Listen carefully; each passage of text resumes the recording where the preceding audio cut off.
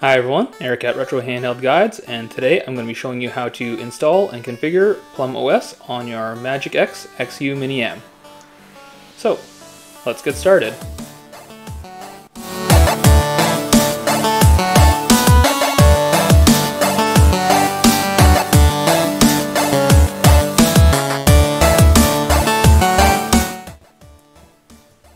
Alright, so the first thing we need to do is we need to get the Plum OS uh, firmware package, and that can be got from the Plum OS GitHub page. Uh, so I'll be leaving a link to this in the description below, but uh, one easy way to find it is if you just Google Plum OS, you'll see that the second result for me currently is uh, Plum OS. If I go here, this is not the Plum OS that we want, but it is by the same developer. Uh, so if you do get to this version, what you want to do is just go back into the root here, gamede.it, and then you want to look for the XU Mini M version. So if we click on the XU Mini M version, it does bring up the Plum OS uh, GitHub page for the XU Mini M, which is the one that we're going to want. Uh, you can see down here, Plum OS, so it should have something that looks like this. Now what we want to do is we want to get the latest release, so you can find the latest releases over here on the right hand side, and as you can see, was one that was actually just released earlier today. So if I click on this, you'll see that it brings up the latest release page, some details about how to uh, extract uh, and it, increase the partition. Uh, we'll be talking a little bit about this later as well. What you first want to do is just scroll down to the bottom of this releases page, and in here you can see that there are three files that we're going to need. Uh, so you want to grab the files labeled Plum OS. This is version 8. It is a 7-zip file, and we want 001, 002, and 003. So I've downloaded all these files, and once I have the files, they are going to uh, be showing up here in my uh, directory. And in order to extract these, you'll want a program called 7-Zip. So 7-Zip is available for free. Uh, it's available online. Just grab the version that is uh, for your particular device. And then what you want to do is you want to find the first file, 001, and if you click on it, I'm going to go to show more options here. And from here, under my 7-zip, I simply want to extract here. So this is going to extract the file that's inside, and that's the file that we're going to want to use. So once I've extracted it, it should have a file here called plumos, and then uh, .img. So this img file is the one that we're going to be using to flash to our brand new SD card. And now to flash the image, what I'm using is a program called Rufus. This one is also available for free. I grabbed the portable version so I don't need to install anything. It's a uh, self-contained exe. And once I open it, it will then uh, give me everything that I'm going to need. So here you can see I have a 32 gig SD card inserted into my computer. And from there, what I want to do is click on the select button. And then from select, I want to find the location of the IMG file that I've extracted. Select that and click open. And then from there, I simply need to click on the start button. So just make sure that you have your um, SD card selected and then click the start button. It'll give you some warnings. It's going to destroy everything on this device. Are you sure? Yes, as long as you're sure, then it's blank. And that will begin to write the image for you onto this SD card. So this process is going to take a little while. We'll just let this complete uh, and then we'll come back and see what we need to do for our next couple of steps. All right, so now that the writing process is done, what we want to do is going to expand the partition for the games to take advantage of all the space that is on our SD card.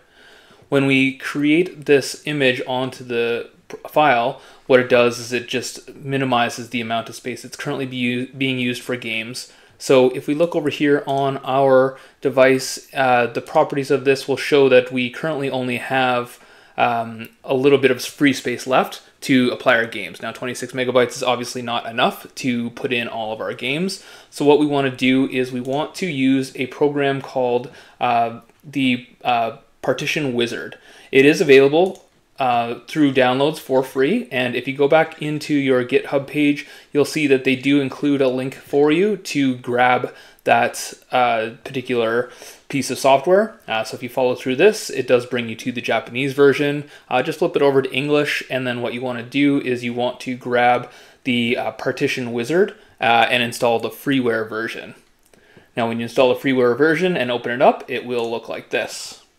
So here we have the partition wizard, and you can see if we scroll down into our disk 2, which is my SD card that's been inserted, we currently only have 132 megabytes allocated for our games, and there are 22 gigabytes free. So we want to use this free space to put all of our games on.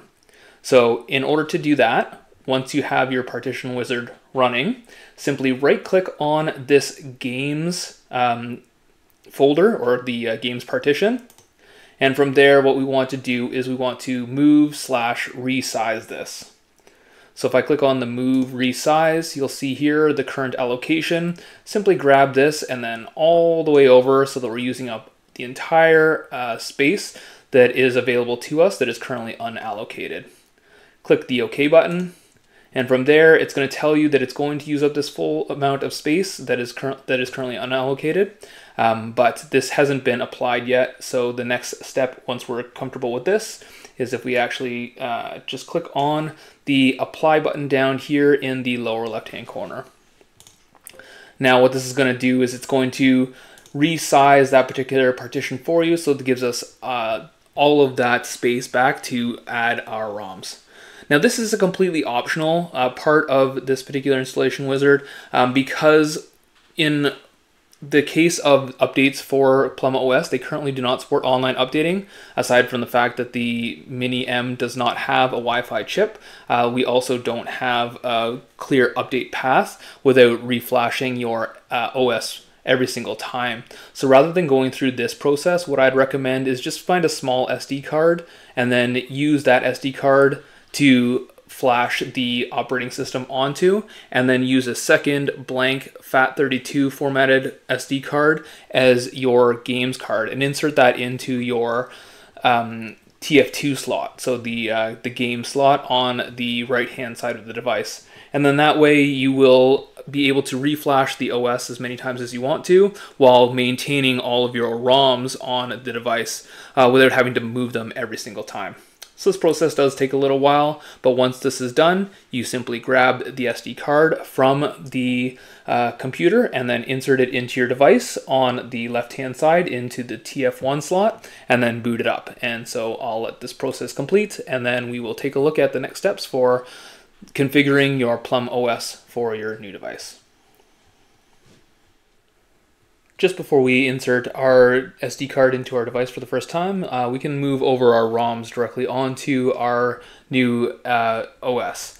So when you finish extracting or expanding that uh, partition for games, you should see it here, uh, and hopefully it's got a whole bunch of free space now available for you to add your games. If you don't see your games partition uh, already uh, show up by default, you can simply use Windows to search for create and format hard disk partitions tool uh, that's in your control panel. Uh, and as you open up this, it should show you all of the disks that you currently have. Uh, if we scroll down, we'll see our removable SD card.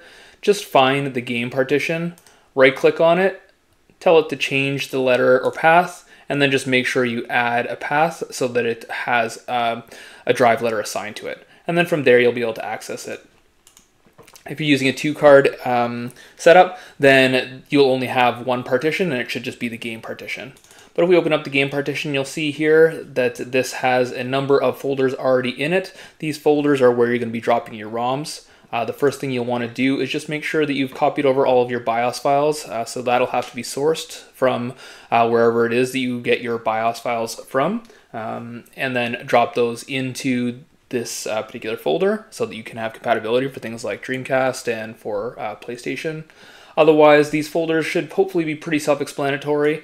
Uh, they are labeled for each of the individual systems that you're going to want to add your ROMs to. So Dreamcast, uh, you know, Game Boy, Game Boy Advance, uh, N64. All of these are where you're going to be dropping your ROM files to add to your disk. And then from there, uh, once you have all of your files moved over, simply pop your SD card out of your computer and uh, into your device and turn it on for the first time. So now that we've flashed the OS to our SD card, simply grab that from your computer and then pop it back into your device. Uh, so that will go on the left-hand side in the TF1 slot. And then once you've inserted it, make sure it's nice and snug. Uh, just turn on your device. And from there, we will go into Plum OS. Uh, so this one doesn't have a lot of configuration that you're going to need to do. Uh, once it boots up, you're basically ready to go. Uh, there is a couple of things that you will want to adjust as you go into Plum OS for the first time. Uh, the first one is to enable max performance. Uh, to do that, click on the start button and then go into your game settings. And from game settings, just make sure enable max performance is on. This will allow us to use max performance uh, for things like PSP. Uh, for the other emulators, you can set this on a per emulator basis uh, through the uh, through the select button on the ROM screen. Uh, otherwise, just load up your games into your ROMs uh, folders, which is on that games partition. Uh, so just pop that out of your device and into your computer, and then load it up into the folders under the games partition. Otherwise, I highly recommend using a 2 SD card setup for this device as Plum OS is regularly being updated and without Wi-Fi on this device there is no uh, over-the-air updates uh, so you will be needing to reflash that SD card fairly regularly. Uh, so what I do recommend is just grabbing a second SD card and then popping that into your uh, right hand side uh, through the right hand um, side. You will then be able to um, put in your uh, ROMs on the second card. Uh, when you have a second card inserted, you will need to make sure that you're telling the device to use a second card, and that can be done using the start button. And if you go down here to the TF card management, just tell it that you're going to be using TF1 and TF2 for your ROMs. Uh, so that is going to take a little while to uh, apply. Uh, once you've applied that, uh, it will go through and make sure that the ROMs uh, directories are created on that card. And then from there, you can go into the second card and then uh, apply all of your games into the folders on that. Otherwise, that's pretty much it. Uh, that's uh, Plum OS. Plum OS is a great operating system for this device as it does enable a higher clock speed for the device than the stock OS, plus you have your configuration. So I'm looking forward to seeing some improvements on this device and through Plum OS and other uh, custom firmwares uh, as this device becomes more popular. So I hope you enjoyed my video. Uh, if you have anything else you'd like to see for the Magic X XU Mini M, uh, any particular systems that you want me to test, uh, feel free to leave those in the comments below.